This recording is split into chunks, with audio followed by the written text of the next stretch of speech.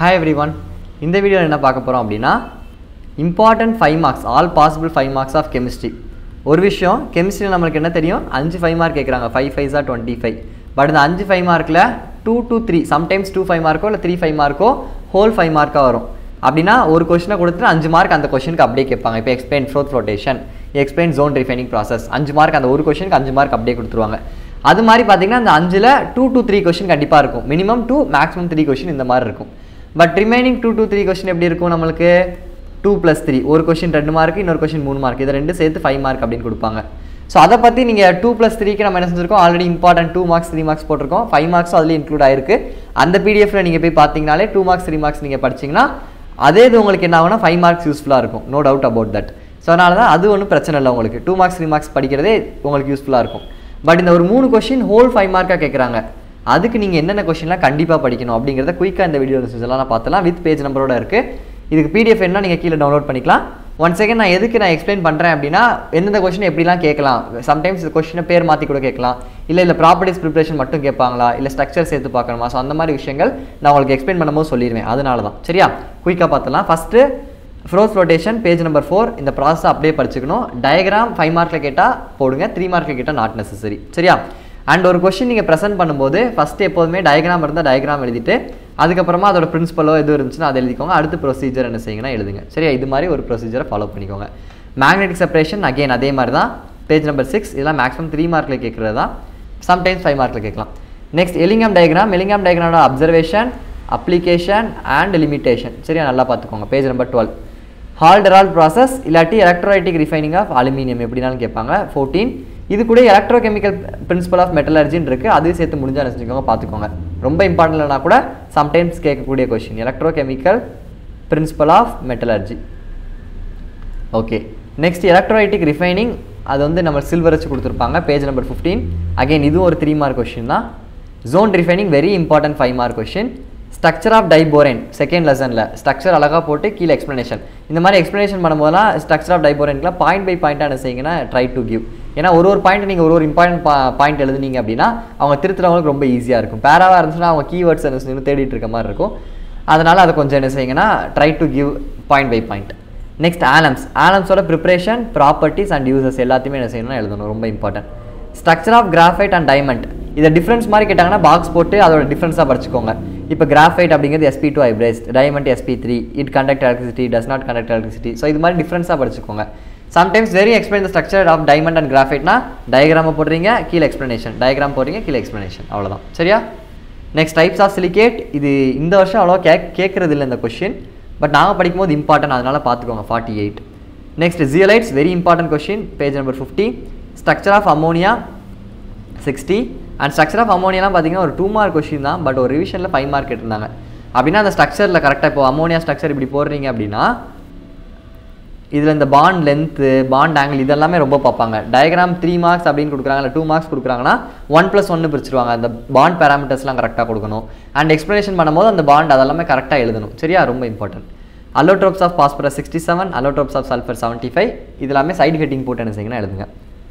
Next contact process for the preparation of sulphuric acid very important question seventy seven Deacon's process for the preparation of chlorine eighty three use of noble gases எல்லா uses கேட்டால் five mark தனித்தனியாக கேட்டால் two mark page number ninety three Ostwald process for the preparation of nitric acid lanthanide contraction இதோட consequences and effect sorry இதோட definition consequences effect என்னெல்லாம் இருக்கோ அது எல்லாத்தையுமே படிச்சிருங்க. ரொம்ப இம்பார்ட்டண்டான கொஷின் ஃபோர்த் லெசனில் lanthanide ஆக்டினைட்ஸோட differences one twenty three Werner's theory VBT theory crystal field theory இந்த மூணு தேரி என்ன செய்ய படிக்காமல் போகவே கூடாது எக்ஸாம் ஹாலுக்கு ரொம்ப இம்பார்ட்டண்டான தேரிஸ் சரியா?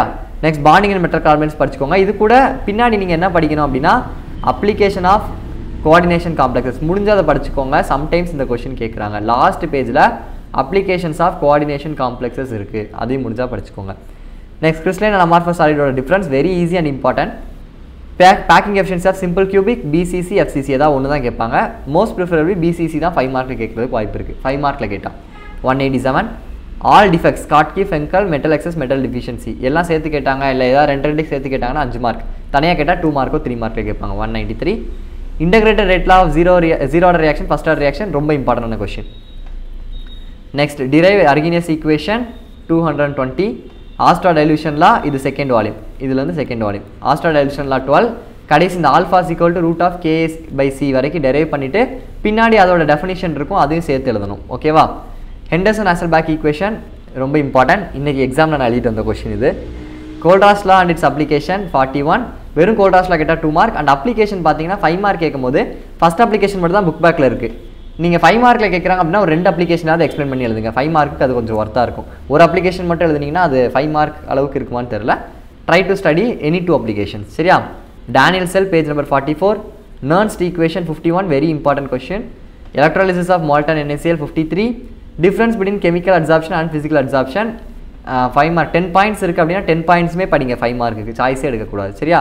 Seventy one characteristics of catalyst seventy eight intermediate compound formation and adsorption theory eighty one இதில் ஒரு கொஸ்டின் என்ன மிஸ் ஆயிடுச்சு அப்படின்னா zeolite catalysis characteristics of catalyst முன்னாடியே இருக்கும் zeolite catalysis so three mark தான் பட் ஸ்டில் ரொம்ப சம்டைம்ஸ் ஃபைவ் மார்க்கில் கேட்குறாங்க முன்னாடி எப்படி ஜியோலைட் ஜியோலைட் அந்த செகண்ட் லெசனில் இம்பார்ட்டனோ அதே மாதிரி ஜியோலைட் கேட்டலிஸ்ட் வந்து இதில் ரொம்ப இம்பார்ட்டன்ட் நெக்ஸ்ட் லூகாஸ் டெஸ்ட் ஆர்கானிக்கில் டேரக்ட் ஃபைவ் மார்க் ரொம்ப ரேர் பட் அப்படின்னு கேட்டாங்கன்னா Lucas test Victor Meyer test கேட்கலாம். கேட்கலாம் Saytzeff rule Saytzeff rule actually ஒரு டூ மார்க் தான் டெஃபினிஷனில் பட் ஒரு மெக்கானிசமோட எக்ஸ்பிளைன் பண்ண சொல்கிறாங்க ஒரு காம்பவுண்ட் அப்படின்னா அது ஃபைவ் மார்க்கில் கேட்கலாம்.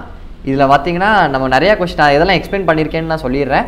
ஆல்ரெடி வீடியோ போட்டிருக்கேங்கிட்டு ஸோ அதை நீங்கள் சர்ச் பண்ணி பார்த்துக்கலாம். நெக்ஸ்ட் ஆல்டால் அண்ட் கேனிசாரோ ரியாக்ஷனோட மெக்கானிசம் ப்ரைமரி செகண்டரி டெர்ஷரி அமினோட டிஃப்ரென்ஸ் இது புக்கில் இருக்காது.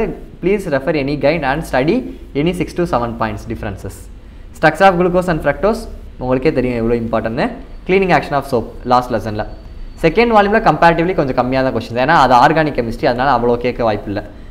டேரக்ட் ஃபைவ் மார்க்கா பட் உங்களுக்கு டூ ப்ளஸ் த்ரீயாக கேட்கறதுக்கு வாய்ப்பு இருக்குது இப்போ இதில் என்ன கொஸ்டின் நம்ம ஃபஸ்ட் லெசனில் இருக்க எல்லாமே எக்ஸ்பிளைன் பண்ணிட்டோம். Fourth flotation magnetic separation Ellingham diagram Hall Heroult process electronic refining zone refining first லெசனோட பிளேலிஸ்ட்டில் நீங்கள் போய் பார்த்தீங்கன்னா இது எல்லா கொஸ்டின் இருக்கும். உங்களுக்கு எந்த கொஸ்டின் டவுட்டாக இருக்கோ நீங்கள் போய் பார்த்துக்கலாம் நெக்ஸ்ட் பார்த்தீங்கன்னா ஆலம் ஸ்டிச் பண்ணியிருக்கோம் நம்ம. ஆமாம் ஆலம் ஸ்டிச் பண்ணியிருக்கோம். செகண்ட் லெசன் இப்போ நான் இதெல்லாம் ஃபஸ்ட் லெசனில் இருக்க பிளேலிஸ்ட் அடுத்து alums structure of gram graphite and diamond அதுக்கப்புறம் பார்த்தீங்க இது ரெண்டு கொஸ்டின் உங்களுக்கு வந்து செகண்ட் லெசன் பிளேலிஸ்ட்டில் இருக்கும். நெக்ஸ்ட்டு தேர்ட் லெசன் நம்ம நான் நடத்தவே இல்லை. பட் ஆஸ்ட்ரால்ட் ப்ராசஸ் நான் என்ன செஞ்சிருக்கேன் அப்படின்னா உங்களுக்கு டீச் பண்ணியிருக்கேன். நீங்கள் Ostwald process MC class twelve chemistry MCQ masters போச்சு போட்டிங்கன்னா வந்துடும் அதை நீங்கள் டேரெக்டாக என்ன செஞ்சு என்ன செஞ்சுக்கலாம் படிச்சுக்கலாம். இது லெசன் த்ரீ நெக்ஸ்ட்டு லெசன் ஃபைவ்க்கு எல்லாமே அப்லோட் பண்ணியிருக்கோம். Werner's theory VBT theory and administrations crystal field theory postulates explain பண்ணிட்டேன் உங்களுக்கு. அதோட அப்ளிகேஷன் ஓரியன்டாக எப்படி கிரியேட்டிவ் கொஷின்ஸ் கேட்பாங்க அப்படிங்கிறத நான் வீடியோ எடுத்து வச்சுருக்கேன். நாளைக்கு உங்களுக்கு அப்லோட் பண்ணிடுறேன். Next bonding in metal carbonyl இதுவும் உங்களுக்கு என்ன செஞ்சுட்டேன் அப்படின்னா I have uploaded videos fifth lesson ப்ளேலிஸ்ட்டில் பார்க்கலாம். நெக்ஸ்ட் பார்த்தீங்கன்னா சிக்ஸ்த் லெசன் நம்ம அப்லோட் பண்ணல. பட் இன்டகிரேட்டட் ரேட்டில் zero order reaction first order reaction upload பண்ணிட்டேன். நெக்ஸ்ட் அர்கினியஸ் ஈக்குவேஷன் அப்லோட் பண்ணியிருக்கேன். ஆஸ்ட்ரா டைலூஷன்லாம் நம்ம அப்லோட் பண்ணிட்டோம். ஹெண்டர்சன் நெசல் பேக் ஈக்குவேஷன் அப்லோட் பண்ணிட்டோம். நான் நைன்த் லெசன் நம்ம தொடவே இல்லை. லூக்கா ஆர்கானிக் மேக்ஸிமம் எல்லாம் அப்லோட் பண்ணியிருப்போம். Lucas test Victor Meyer test Saytzeff's of rule அதுக்கப்புறம் பார்த்தீங்கன்னா aldol and Cannizzaro mechanism structure of glucose and fructose அப்போ இருக்கிறதுல பாதி கொஷின்ஸ் நான் நினச்சிட்டேன் அப்படின்னா I have uploaded so what I have planned is இப்போ ஒரு இதில் ஒரு நாற்பது ப்ளஸ் கொஷின் இருக்கும். ஒரு இருபது கொஷின் அப்லோட் பண்ணியிருந்தேன் இன்னும் இருபது கொஷின் அப்லோட் பண்ணாமல் இருக்கும். ஸோ நான் ஒரு பிளான் பண்ணியிருக்கேன். ஒரு ஃபைவ் மார்க்ஸ் என்னால் முடிஞ்சால் நான் எக்ஸ்பிளைன் பண்ணி உங்களுக்கு போடுறேன். ஏன் நான் எக்ஸ்பிளைன் பண்ணணும்னு நினைக்கிறேன்னா ஒரு ரெண்டு வீடியோவில் பிகாஸ் நிறைய பேர் வந்து புரியாதனால சில கொஷின்ஸை படிக்காமல் போயிடுறாங்க. ஸோ எக்ஸாம் பாயிண்ட் ஆஃப் வியூவில் நீங்கள் எப்படி புரிஞ்சு படிக்கணும் அப்படிங்கிறத அந்த ஒரு ஃபோக்கஸில் மட்டும் தான் நடத்த போகிறேன் ரொம்ப கான்செப்ட் நம்ம டீப்பாலாம் போக போகிறது இல்லை ஸோ இதில் இஃப் ஐ ஹாவ் டைம் எனக்கு எக்ஸாம் முடிச்சு டைம் இருந்தால் நான் கண்டிப்பாக ஐ டூ இட் பட் மொதல் இருக்க கொஷின்லாம் படிச்சிருங்க. மற்ற கொஷின் நான் ஐ வில் ட்ரை என்னால் முடியலாம் உங்களுக்கு நான் இன்ஃபார்ம் பண்ணிடுறேன். நீங்கள் அதுக்கேற்ற மாதிரி என்ன செஞ்சுக்கோங்களா படிச்சுக்கோங்க. சரியா? So these are very important questions you should not skip keep preparing மற்ற இன்னும் ஒரு யூஸ்ஃபுல்லான வீடியோவில் மீட் பண்ணலாம். தேங்க்யூ